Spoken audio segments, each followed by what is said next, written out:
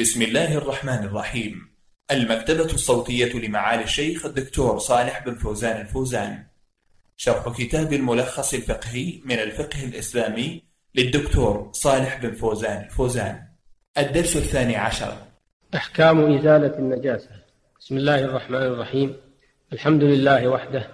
الصلاة والسلام على من لا نبي بعده. نبينا محمد وآله وصحبه وبعد. أيها المستمعون الكرام السلام عليكم ورحمة الله وبركاته. وبعد فكما أنه مطلوب من المسلم أن يكون طاهرا من الحدث إذا أراد الصلاة فكذلك مطلوب منه طهارة البدن والثوب والبقعة من النجاسة. قال تعالى وثيابك فطهر وأمر النبي صلى الله عليه وسلم المرأة بغسل دم الحيض من ثوبها مما يدل على اشتراط طهارة الثوب للصلاة.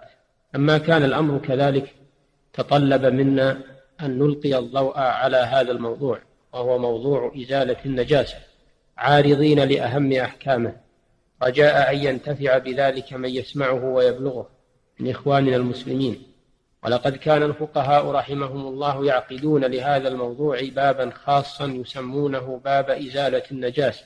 أي تطهير موارد النجاسة التي تطرأ على محل طاهر من الثياب والأواني والفرش والبقاع ونحوها.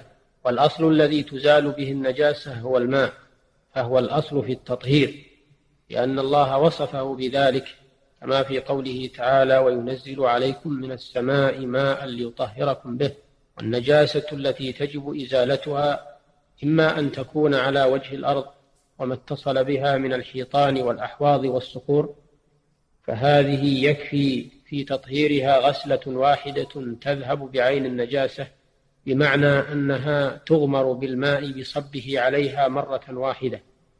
لأمره صلى الله عليه وسلم بصب الماء على بول الأعرابي الذي بال في المسجد.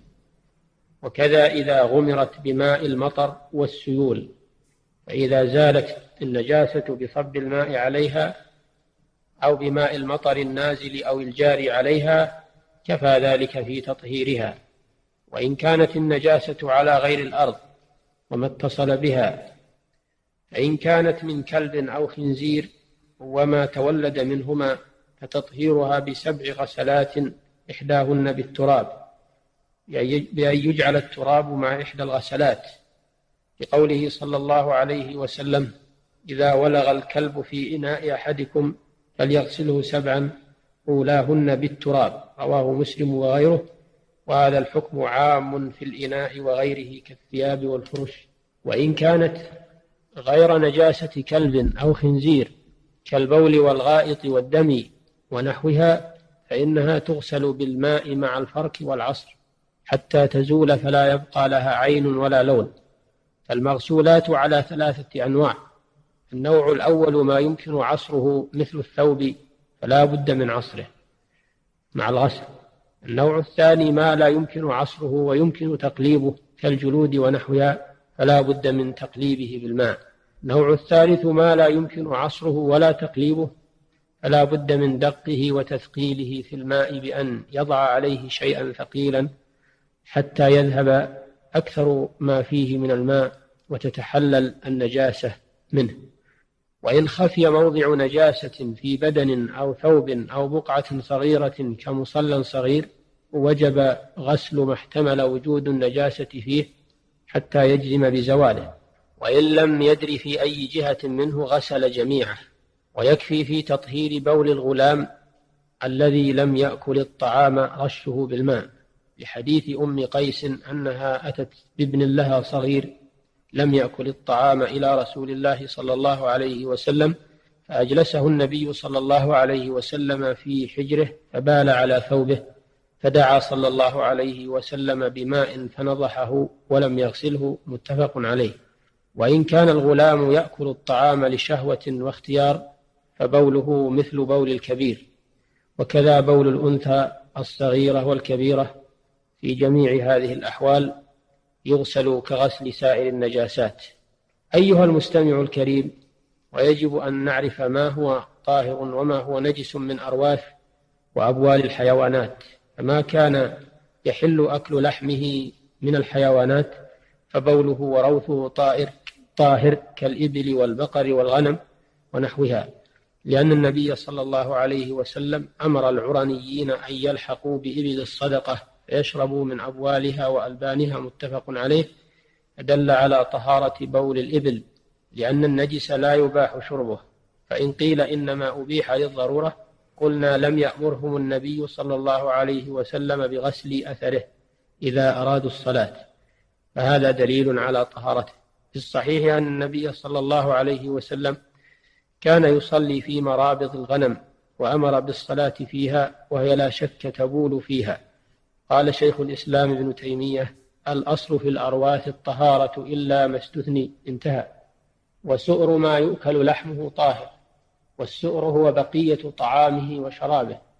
وسؤر الهرة طاهر لحديث أبي قتادة في الهرة قال إنها ليست بنجس إنها من الطوافين عليكم والطوافات. رواه الترمذي وغيره وصححه.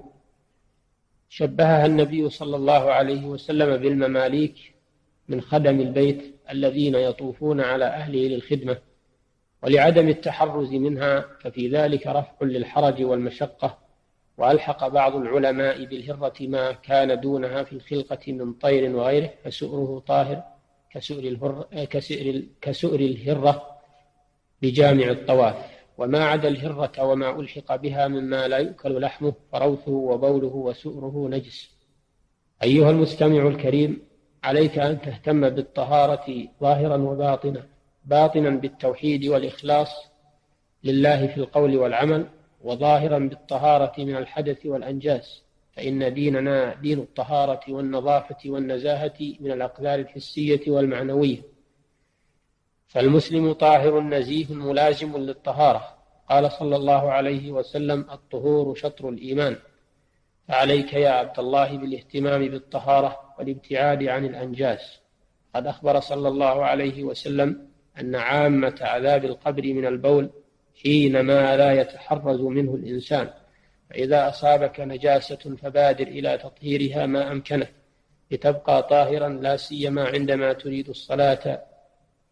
فتفقد حالك من جهة الطهارة وعندما تريد الدخول في المسجد انظر في نعليك فإن وجدت فيهما أذى فامسحهما ونقهما ولا تدخل بهما المسجد أو تدخلهما المسجد وفيهما نجاسة حتى تزيلها. وفق الله الجميع لما يحبه ويرضاه من القول والعمل. صلى الله وسلم على نبينا محمد وآله وأصحابه أجمعين. وإلى الحلقة القادمة إن شاء الله تعالى. والسلام عليكم ورحمة الله وبركاته.